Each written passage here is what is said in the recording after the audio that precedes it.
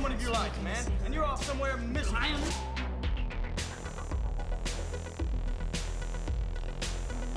Wooden Bottom isn't a weekend retreat. It's not a goddamn seminar. It's a bridesmaid's dress. Someone loved it intensely for one day and tossed it. My life fades out. And I wonder what I'm doing in a room.